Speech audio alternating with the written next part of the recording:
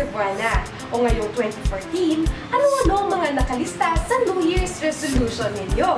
O malamang kasama dyan ang hindi na malilig sa klase o sa trabaho, ang ititigil na ang mga bisyo, at syempre ang magtipid ng pera. Maliban sa pagsalubong natin ng 2014 ngayong Enero, ay pinagdiriwang din natin ngayong buwan ang Insurance Month. O bilang nabanggit na din natin ang pagtitipid at ang insurance, ay pinakikilala po namin ng isang produktong siksik sa proteksyon at benepisyo, pero hindi mabigat sa bulsa. Ang alagang Cebuana Plus ng Cebuana Luwilier. Pero ang tanong, ano nga ba ito?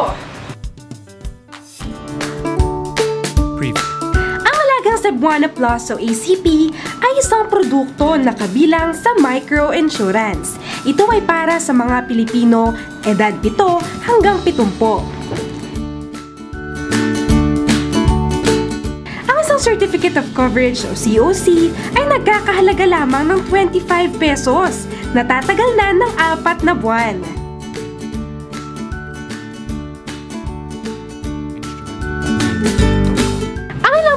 Benepisyo na kalakip nito ay 20,000 pesos para sa personal accidental death o dismemberment.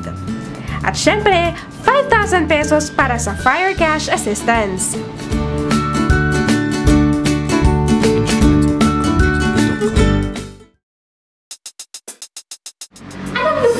Kasagwana noong 2013, almost 5 million na ang nag-avail ng microinsurance. Ito naman ang bilang ng mga kliyenteng nakakuha na ng benepisyo mula sa insurance.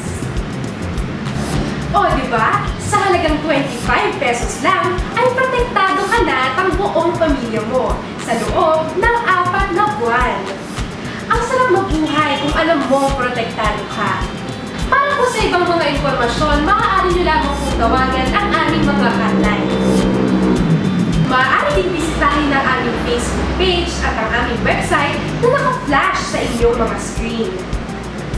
O magsadya sa mahigit 1,700 Cebuana Luwilier branch nationwide.